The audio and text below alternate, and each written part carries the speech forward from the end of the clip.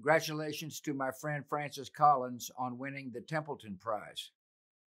This is a big deal, Francis, and you deserve it. I remember when I gave you the Medal of Freedom, uh, it was because of your character and your decency. You're a smart guy who understands science. You're a man of faith who doesn't compromise your faith. Our country needs leadership like yours, particularly during the CV 19 crisis.